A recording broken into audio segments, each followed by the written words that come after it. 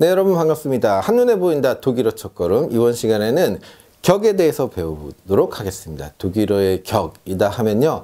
이걸 뭐라고 해야 되나요? 음, 한국의 백두산이다 이렇게 설명드릴 수 있겠어요. 무슨 얘기냐면 어, 하나의 언어의 가장 큰 특징을 이루는 요소다.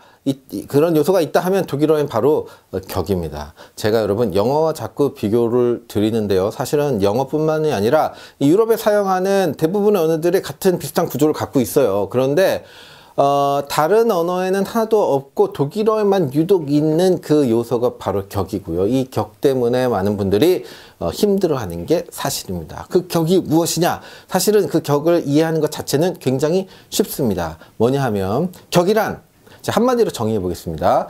격이란 하나의 명사가 문장에서 뭐로 쓰였어? 를 묻고 대답하는 어, 내용입니다. 그러니까 그 명사가 그 문장에서 어떻게 쓰였는데 음, 라는 질문인 것이죠. 자, 예를 한번 들어볼게요. 나라고 했어요. 나라는 명사는 사실 문장에서 네 가지 종류로 쓰일 수 있습니다. 여러분 알고 있었습니까?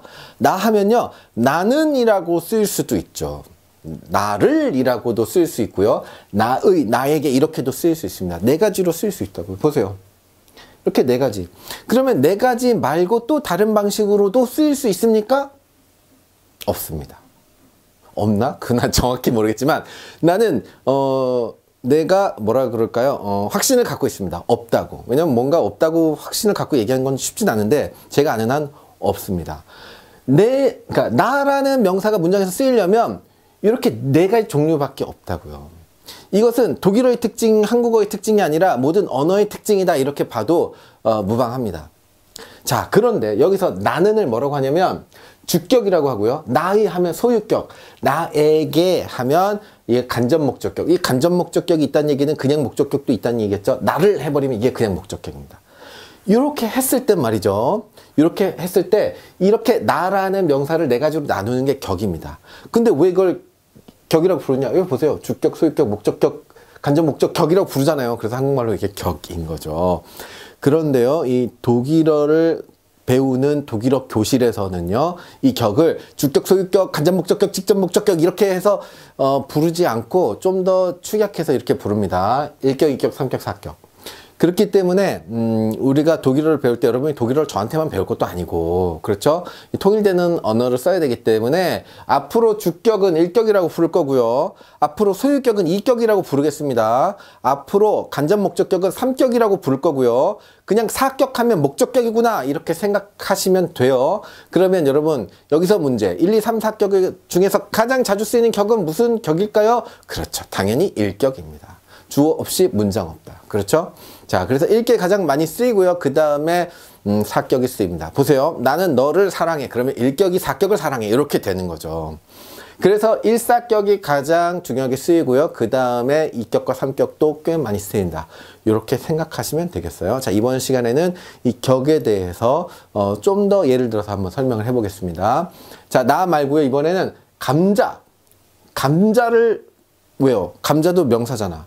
그죠? 감자 네가 명사야? 그러면 너는 넷 중에 한 가지로 쓰였겠구나. 한번 보겠습니다. 감자가 주어로 쓰이면 당연히 감자는 이렇게 되겠죠. 감자에 감자에게 감자를 이렇게 네 가지 나왔습니다.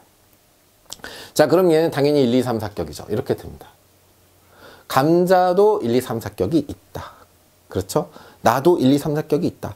모든 명사는 1격부터 4격까지가 있다. 이렇게 되는 거죠. 자, 그런데 말이죠. 문제는 이제부터 시작입니다. 제가 지금 모든 명사는 이딴 식으로 말했는데 제가 모든 명사는 하면서 말했던 게 요 바로 앞단원에도 있었어. 앞단에 제가 뭐라 그랬냐면 모든 명사는 남성형과 중성팀과 여성팀과 이 있고 또 중 그 복수는 그 형태가 따로 이렇게 있다 이렇게 말씀드렸잖아요. 바로 이겁니다. 남성, 여성, 중성, 복수. 우리 교재에서는요 매우 친절하게 남성은 파랑, 아, 여성은 빨강. 아, 물론 이렇게 그 색깔로 성을 규정 짓는 것은 굉장히, 음, 뭐랄까요, 음, 한마디로 좀, 그렇죠. 예? 그렇긴 한데, 어쨌든 여러분이 편하게 딱 보시기는 좋잖아요. 그죠? 파랑 남성 해놓으면 좋지. 그리고 뭐 굳이 뭐, 빨강이 남성 이제부터 이러기는 좀 그렇잖아요. 그래서 파랑 남성, 빨강 여성, 노랑이 중성입니다. 그리고요. 자, 그 다음에 음, 복수. 복수는 남성, 여성, 중성의 개념이 없기 때문에 회색으로 처리했습니다. 그 성의, 성을 무관하고 쓴다. 성과 무관하게 쓴다는 의미로 그냥 회색을 처리했습니다. 이 네 가지 경우의 수가 있는데, 이 네 가지 경우의 수 곱하기, 이거 X표 아닙니다. 이거 곱하기입니다. 곱하기, 그래서 다시 말해서 4 곱하기, 그 다음 뭡니까? 사격입니다. 1, 2, 3 사격. 그러면 경우의 수가 몇 개 나옵니까? 이 경우의 수라는 거 모르는 분들이 있어요. 자, 이 무슨 얘기냐면 남성 일격, 남성 일격, 남성 사격, 남성 사격, 여성 일격, 여성 일격, 여성 사격, 여성 사격 이게 다 존재한다는 겁니다. 합이 몇 개? 4, 4, 16, 16개. 16개의 형태가 존재합니다. 뭐가 그렇습니까? 16개 형태에 뭐가 존재하냐면 관사가 그렇게 존재합니다.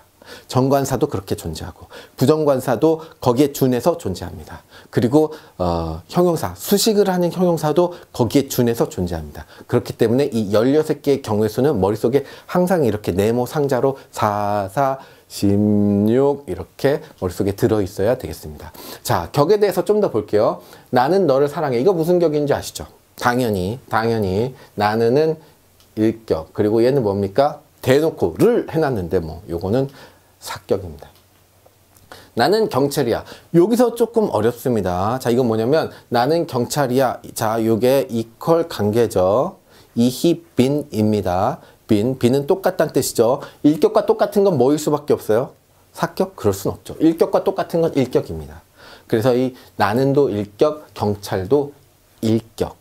자, 요거 한번 생각해 보셔야 될 내용입니다. 자, 다음에 저 차를 훔치자를 대놓고 를 나왔으니까 얘는 뭡니까? 사격입니다.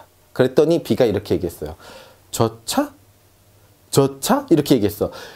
이 문장 내에서 이 차는 몇 격인지 나와 있지 않은. 그러니까 뒤에 보세요. 차를 차가 차는 차의 뭐 아무 말도 안 했죠. 그냥 차라고만 했을 뿐이야.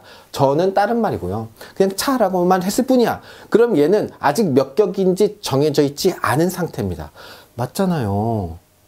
격이 정해진다는 건 문장 내에서 어떤 역할을 하느냐인데 아직 역할이 뭐라고 정해져 있지 않은 애기야 얘는. 하지만 얘는 몇 격이다 사격입니다. 왜 그럴까요?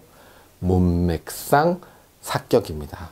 다시 말해서 저 차를 이 생략되어 있습니다. 다시 말해서 여기서 저 차를 훔치다 그랬더니 B가 저 차가 뭐야 이거 이 바보죠 바보 문맥이 이루어지지 않죠 일격이라고 도저히 생각할 수 없다는 얘기입니다 그래서 문맥상 사격이다 자, 이렇게 해서 격에 대해서 다 배워봤는데요, 여러분. 독일어를 시작한 우리 학생분들의 95%가 격에서 접습니다. 이 무슨 말입니까? 격을 배우고 나서 4, 4, 16의 이론을 배우고 나서 이쯤에서 독일어를 포기하시는 분들이 95%입니다. 바로 포기하는 건 아니죠. 좀 해보다가 아 이거 외우기가 너무 어려워. 이렇게까지 외워야 돼 하고 포기한다는 거죠. 여러분이 만약 만일에 이 격을 가지고 하나씩 하나씩 외워가면서 어려움을 겪는다면 이것은 여러분이 부족하거나 여러분이 특히 뭐 무엇이 뭔가 이상하거나 한 게 아닙니다. 누구나 어려워하고 누구나 포기하는 과정이 이 격입니다. 왜? 외울 게 너무 많고 너무 많고 그리고 끝이 없어 보이기 때문에. 그런데 여러분 한 번 이 16개 형태를 외우고 나면 그 다음에 반복되는 이 16개의 틀이 계속 거의 비슷한 형태를 유지하고 있다는 걸 알게 됩니다. 여러분 독일 사람들도 사람들이에요. 그 16개의 틀이 계속 바뀌어가면서 쓰진 않습니다. 하나 외워놓으면 그게 거의 한 뭐 5% 10%만 바꿔가면서 여러 개인 척하지 사실은 다 똑같아. 그러니까 여러분 요 부분을 꼭 짚고 뭐랄까요 음, 이겨내고 넘어가셔야 하는 과정이고요. 어, 여러분 여러분들이 만약에 이 과정을 넘어서서 독일어에 좀 더 접근해 나가고 정복하게 된다면 그 5%의 사람 안에 드는 겁니다. 여러분. 어, 뭐가 이렇게 어려워라고 생각하실 수 있는데 그만큼 독일어를 추가로 배워낸 사람은 특별한 사람입니다. 그렇게 되십시오. 이상입니다.